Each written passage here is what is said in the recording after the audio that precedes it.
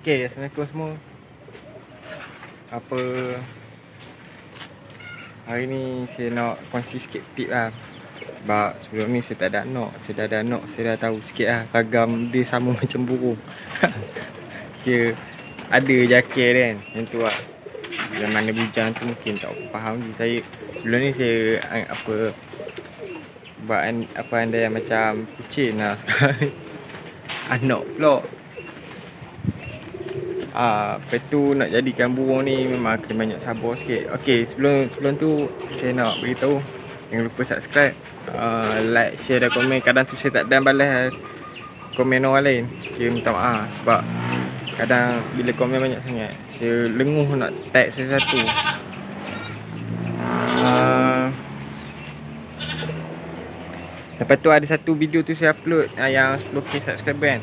Ha, saya tunggu yang nak bagi hadiah dekat video tu Dekat mana-mana pun saya tak kisah Tapi cuma kena tunggu video yang Saya cakap 10k subscriber tu Dalam 10k view dia Sebab ada setengah tu orang tak dapat tengok lagi kan Sebab saya punya noti kadang lambat Dia orang tak on noti Kira Saya tunggu abuk adik Kira semua dapat tahu kan ha, Lepas tu pilih yang tipe cerita Render Saya tak ada pilih-pilih kasih ke apa.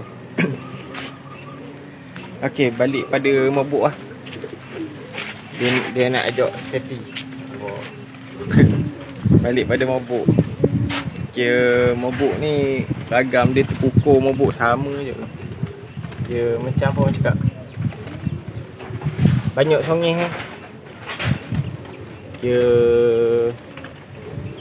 Dia macam budak kecil lah Ada je ragam dia Kadang ada kena ada tak kena kan. Dia panggil dia ada meragam ha. Kalau meragam time meragam tu Kena banyak sabar lah bagi dia rehat lah Bila dia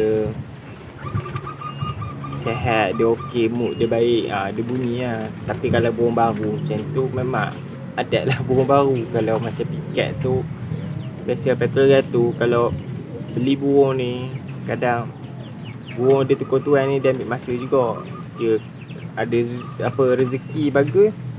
Hari tu sampai hari tu bunyi burung. Ikut pada cara orang tu jaga lah Sebab dia tak sama macam tu jaga Okay ah. Uh, dia Burung ni kena rajin jemur lah Saya pun sekarang ni Sebab saya ulang alik Apa daripada lubuk ke talang Macam burung dekat rumah talang Kampung talang. Kira macam saya duduk Sekarang ni buat sementara ni dekat lubuk melepau Jadi nak jaga burung tu betul-betul tu susah sikit lah macam ni tapi saya selalu pancut jugalah apa. Bila topak air saya pancut cuma bekas je saya tak ada cuci. Tapi selalu saya, selalu topak air baru lah. Sebab tak nakkan air tu kotor ada najis dia kan. Lepas tu lagi tu macam ni tapi sama musim tak mentu macam ni pun tengah naik bulu baru. Kena rajin lemur sikit lah makanan uh, kalau cuaca macam hujan ni boleh lah campur madu sikit. Tapi yang makanan ada siap ada madu tapi ada setengah burung tak nak. Dia nak sambal putih lah. Saya sekarang ni pakai sambal kuning. Sebulan, apa sebulan sambal putih sebulan sambal kuning. Sebab kalau sambal putih lagi tinggi. Tapi banyak pikat minat sambal putih lagi. Okey, macam najis lah. Kalau buang dah galak lah, ataupun dah kuat minum air. Najis dia lebih kurang macam ni lah. Dia lembik. Dia kuat minum air. Ha tu. Dia buang ni nak jinak. Tapi tak payah jinak sangat. Tak apalah. Dia nak macam ni pun tak jinak pun. Dia nak jinak kena selalu ni. Selalu. Tak payah main tak apa.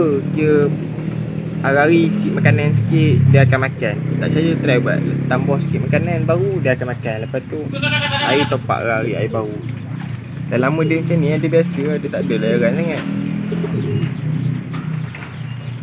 Dia Lepas tu Macam ada setengah yang tanya kan Mak Jun Ataupun ubat-ubat boleh bagi. Cumanya Kalau nak buat jual Selutnya janganlah Sebab Owner lama takkan tahu kita Eh owner lama Owner baru takkan tahu apa yang Kita bagi masa kita beli dia. Contoh kita bagi mak cun owner baru tak mampu bagi tiap bulan apa nak beli apa semua kan. Ataupun dia susah nak dapat. Burung tu jadi condemn lah dekat tuan baru. Dia jadi macam tak nak bunyi dia kurang nak bunyi. Bila macam saya banyakkan burung semula jadi lah kira macam uh, apa tumbuhan semula jadi tu ada bagi sikit-sikit macam sirih Cina lepas tu lepas tu bawang putih bagi sikit. Uh, apa dia?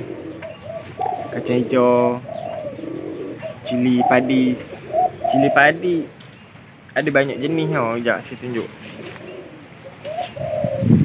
Sebab ada tempat tak ada cili kira panggil cabai burung kalau kat Perak ni. Ada tempat tak ada ada tempat ada kedai dia jual cili padi kat pasar raya ke apa kan. Dia besar. Macam tu. Burung tak boleh makan. Kira macam benda-benda yang nak bagi tu seminggu sekali ke ataupun dua minggu sebulan ke. Tak kisahlah. Macam ni dah repoh bantai dak kambing dah. Ha, ni kecil tau besar mana? Sekejap saya ambil satu. Besar ni ya Kalau yang macam kedai punya Ataupun yang Sengah tu dia besar.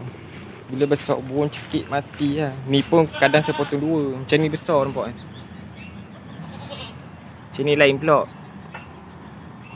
Mana dia? Sekejap. Sebab saya pakai kamera depan susah sikit Okay, ni besar ni yang mula tadi. Um, memang beza lah. Kalau yang besar ni, besar mana dekat besar jari saya. Memang cekik lah. Kalau besar ni, kecil je. Lubang hidung pun boleh muat. apa. Tak payah bagi banyak, tak apa. Bagi sikit lah. Rajin jemur lah selok. Saya pun ada burung yang tak elok saya terus lepas lah. Terang-terang cakap kira sebab saya tak nak buang masa. Kalau burung macam yang orang cakap tak ada potensi ke apa saya akan lepas macam ni lah.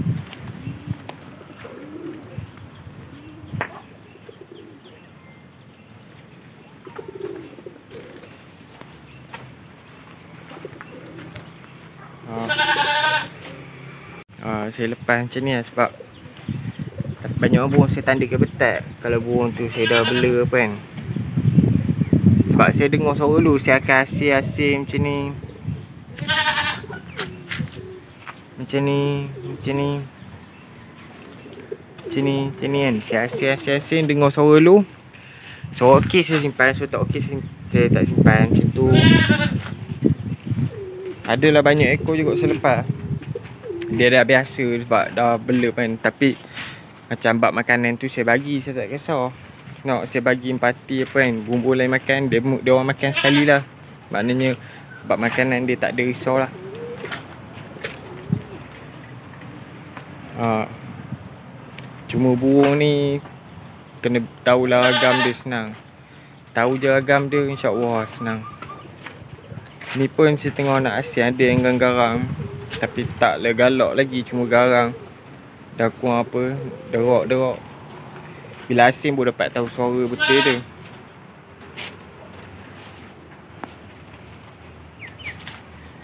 Hmm. Cuma ni lah. Terima kasih mana support saya tu. Jangan lupa subscribe. Nanti uh, insyaAllah Saya Pergi mikat ke Belum Laman Saya buat video.